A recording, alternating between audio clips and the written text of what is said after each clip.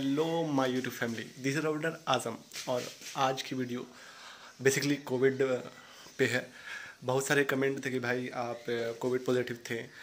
आपकी तबीयत कैसी मतलब क्या क्या आपने सिम्टम फील किया और कैसे आप घर पे रिकवर हुए.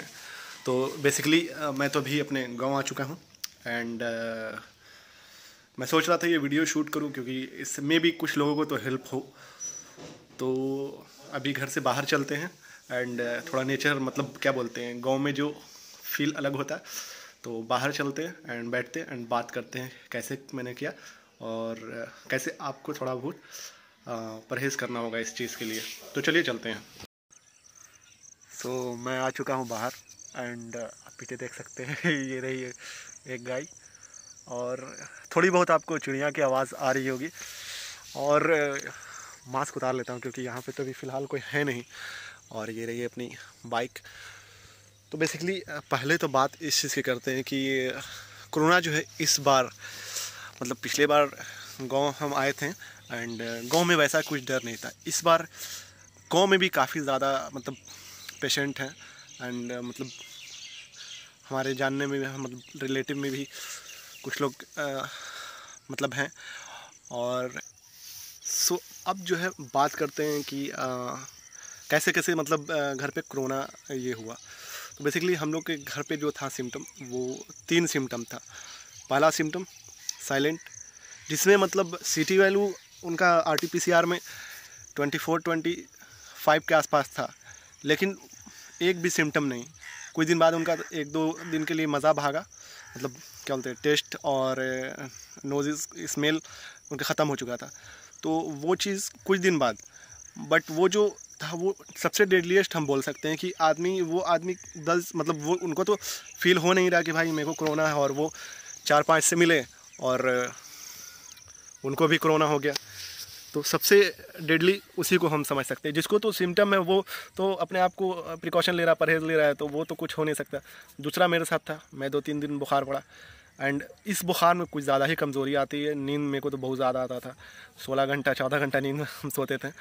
और तीसरा जो था, वो उनको सांस वास में प्रॉब्लम थी। एंड वो हॉस्पिटल में एडमिट हो गए थे। और हॉस्पिटल का तो हाल पता ही है। प्राइवेट हो या सरकारी हो सरकारी का तो बुरा हाल है। प्राइवेट में भी कुछ ही कुछ हॉस्पिटल जो ढंग से देखते बाकी पैसा बनाने में लगे हुए हैं। सो बट अभी सब ठीक है। सब नेगेटिव हो चुके हैं। हम भी नेगेटिव हो चुके हैं। एंड हाँ जो है प्रिकॉशन जो प्रिकॉशन हम पहले ले रहे थे वो प्रिकॉशन अभी भी ले रहे हैं। और रही बात जब कोरोना होता है तभी आदमी प्रिकॉशन लेना चालू करता है। इसलिए हम बेहतर कहेंगे कि आप पहले ही प्रिकॉशन लें। सो so, प्रिकॉशन आपको लेना ज़रूरी है। अगर आप प्रिकॉशन अभी से लेना चालू करते हैं अगर मेरी वीडियो देख रहे हैं और आप मतलब प्रिकॉशन नहीं ले रहे हैं तो प्लीज़ प्रिकॉशन ले लीजिए। क्योंकि देखिए आपका इम्यून सिस्टम आपको बचा लेगा।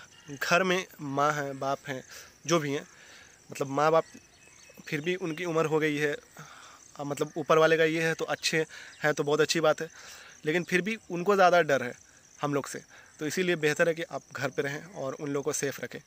और दो तीन चीज़ बता देता हूँ जो मतलब प्रिकॉशन ले रहा हूँ मैं, वो आपको यूट्यूब पे तो मिल जाएगा बट हाँ उस पर अमल करना ज़रूरी है मतलब उसके साथ आपको चलना होगा। ये नहीं कि बस देखा एक दो दिन क्या और एक दो दिन में जाने वाला नहीं है। कम से कम दस पंद्रह दिन आपको करना होगा क्योंकि पंद्रह दिन बाद मैंने टेस्ट कराया था तो मेरा पॉजिटिव था। बट हम आफ्टर ट्वेंटी डे के बाद मैंने करवाया तो नेगेटिव हो गया एंड एंटीबॉडी वगैरह सब टेस्ट करवाया तो सब सही हो चुका था। तभी मैं अभी बाहर आया एंड गाँव में आकर के रह रहा हूँ। और अभी तो गाँव का भी बुरा हाल है ये तो पता ही होगा आपको। सो so, आपको जो करना है प्रिकॉशन लेना है वो आपको सुबह उठते के साथ दो सौ एम गर्म पानी लेना है नींबू डालना है उसके साथ पीना है, ठीक है? दूसरा चीज़, फल खाना है। जितना अच्छा फल खा सकते हैं, जितना खा सकते हैं, फल खाइए। फिर तीसरा, नाश्ता करना है। नाश्ता एकदम ज़बरदस्त होना चाहिए।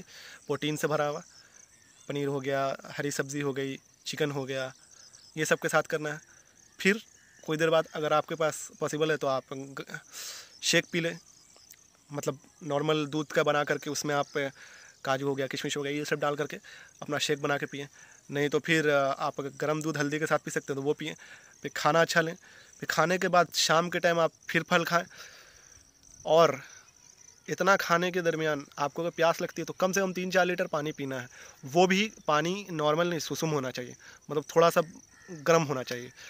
वो रात में भी आपको खाना तो पता है रात में तो खाना खाना ही होता है। बट हाँ वो भी खाना अच्छा होना चाहिए। और रही बात, रात में एक गिलास दूध और हल्दी वाला दूध, वो पीना भी मस्ट है। और इस बीच में आपको एक टाइम या दो टाइम काढ़ा पिए, ठीक है? ये सब चीज़ आपको यूट्यूब पे दिखा देंगे डॉक्टर लोग जो हैं, वो सजेस्ट करते हैं। स्टीम अगर हो सकता है तो दो टाइम लें, नहीं तो एक टाइम तो मस्ट स्टीम लें, क्योंकि स्टीम से जो है मतलब देखिए, गर्म पानी पीना तो ये तो गले का अगर मतलब गले में बैक्टीरिया है, जो भी है, वो तो चलिए, कुछ पल के लिए मर जाएगा बट नाक से जो है, वो क्या नाक से हम पानी तो पी सकते हैं नहीं तो उसके लिए तो स्टीम लेना पड़ेगा। तो स्टीम ज़रूरी है। बाकी डॉक्टर जो है, वो आपको दवा लिखेंगे। एंड दवा जो है सपोर्टिव है, अभी जितनी भी दवा है, सारी सपोर्टिव है। और दवा को भी टाइम से खाना है, सारे मतलब अभी जो है, आप अभी भी अगर देख रहे हैं वीडियो और अभी भी आप मतलब सोच रहे कि, हम तो ठीक है, क्यों गर्म वरम पानी पीना क्या? पीजिए, फ़ायदा ही करेगा, क्योंकि अगर आपको अभी कोरोना का सिम्टम नहीं और ये भी जानना है कि अभी क्या हाल है तो मतलब खुद का प्रिकॉशन आपको अभी खुद लेना होगा। ना सरकार कुछ कर सकती है, ना मतलब कोई और आदमी कर सकता है। बस आप हाथ मलते रह जाइएगा और सब इधर से उधर हो जाएगा। तो बेहतर यही है कि अपने आप को घर पे ठीक कर लें, वो ज़्यादा बेहतर है। मतलब सरकारी हॉस्पिटल ना जा कर के मेरा कहना ये है, क्योंकि बिहार का तो पता ही है आपको हाल, और इस बार तो बहुत ज़्यादा ही बुरा हाल है।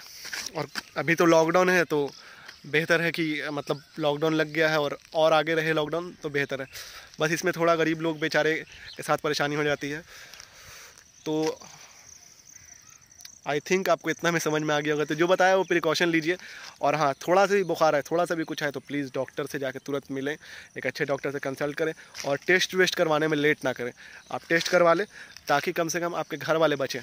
आप टेस्ट ना करवा करके आप मतलब क्या बोलते हैं दूसरे के साथ घूम फिर लेंगे ये कर लेंगे तो उनको भी परेशानी हो जाएगी आपको भी परेशानी हो जाएगी घर वाले को परेशानी हो जाएगी।